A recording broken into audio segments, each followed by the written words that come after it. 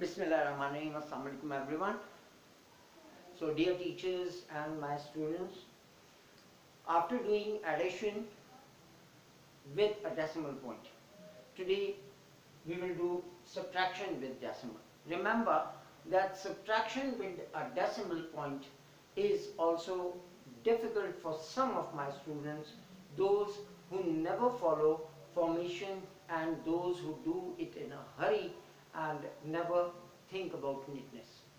Again and again I am repeating this thing that mathematics is the subject that need formation and your neatness. If you want good marks in mathematics, you know that majority of my students, they know all formulas, they know how to uh, add, subtract, multiply and divide, they know how what formulas are, they know square root, HCF, LCM, everything they know.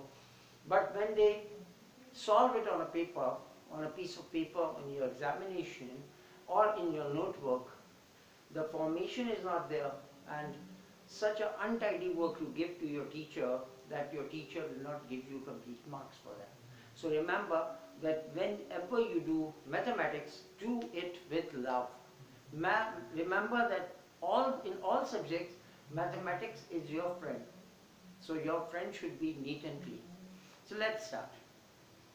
If I will write first question that suppose that if we are writing 3976 and then I will tell you to subtract 2327 from it then what you will do? It is very simple. You will put up and down and you will subtract it. But if I will put a digit decimal over here and one decimal over here. If I will read it like this, 39.76 and if I will never read 39.76, no. This is paisa so we have to read it like this 39.76 and 2.327. 3, 2 point, not 327. You will not read it like this you have to read it 2.327. Now if you want to subtract it, you will write solve first and first of all you will write this number that is 39.76. Then as we did in mathematics the same thing you are going to do is that this decimal point will come under decimal point straight under decimal decimal under decimal after decimal there is 3, 2, 7. After decimal 3 to 7 and before decimal is 2. So this 2 will come before decimal over here. Now what you are doing, you are doing subtraction. So it is better for you yourself that what you are going to do, you will put 0 at empty spaces. Why we are putting 0 at empty spaces? Because you have to take a carry from your neighbor, from the neighboring number. And if I will not put 0 over here, how you can subtract this 7? If you write 7 over here because there is no number oh, at the top, so 7 comes down. No, in addition you can do this, but in subtraction you have to subtract. So for that we will fill empty spaces with zeros. This was the empty space and this was the empty space. So both empty spaces I have filled with 0. Now from 0 you cannot subtract 7. From 0 you cannot subtract 7. So what you will do? You will take 1 from here. From this 6 you will borrow 1. This will become 10. And you have borrowed from this 6 so this will become 5. With pencil you can do this cutting. Because from 6 you have taken 1 this became 10, but 6 has given 1, so 6 will become 5. Now 10 minus 7. 10 minus 7 is 3. 3 will come here. Okay. Then 5. 5 minus 2 is again 3. You are not going to subtract from 6 because 6 has given 1. Now it became 5. So 5 minus 2 is 3. Then 7 minus 3 will become 4 decimal will come here and 9 minus 2 9 minus 2 is 7 because 7 plus 2 is 9. So 9 minus 2 is 7. And 3 minus 0 is 3. This will be your answer. Now suppose if I will write another question and if I will write 127.96 127.96 minus 39 now again the same thing is there that there is no decimal point. There is no decimal point. So what you will do is that when you will write solve you know when there is no decimal point, it means if we read it like this, 127 rupees 0.96 pesos, then it means this is 39 rupees. And there is no pesa, there is there, therefore there is no decimal.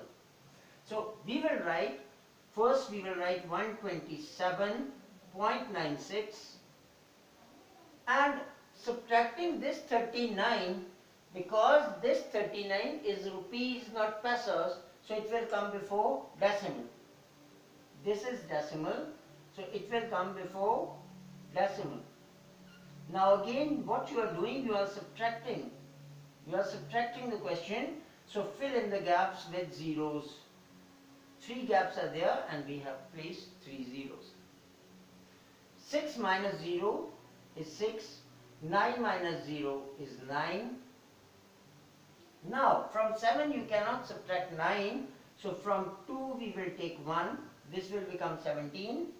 And this 2 has given 1, so it will become 1. 17 minus 9. The best way is, you are going to subtract 9 from 17. So, after 9 what comes? After 9, 10.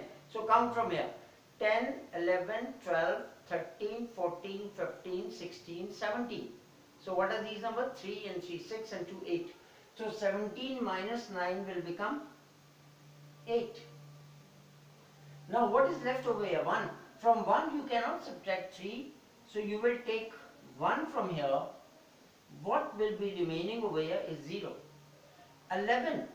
11 minus 3. After 3 comes 4. So we will count 4 till 11. 4, 5, 6, 7, 8, 9, 10, 11. So the answer is 8. And you know 8 plus 3 becomes 11. So 11 minus 3 will become 8. 0 and 0 means 0. So 88.96 is your answer. It is seen, if you have watched the my video on addition with a decimal, it is just like that. Now we will do one more questions and suppose if I will say that if I will write 63.71 and if I will subtract 0.9 from this. So what you will do is that you will write solve and then you will write 63.71 and what you will do now decimal point will come under decimal point. So this decimal point will come here. After decimal is 9 and before decimal is 0. You got my point? Decimal point will come under this decimal point. After decimal point is 9 and before decimal point is 0.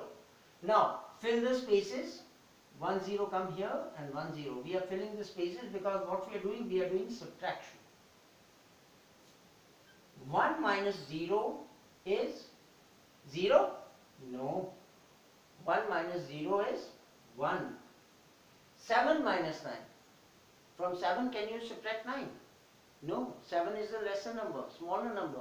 So what you will do, you will take 1 from this 3. This 3 will become 2. Now 17 minus 9. So what I told you that bigger number is 17, smaller number is 9. So count from 9 till 17.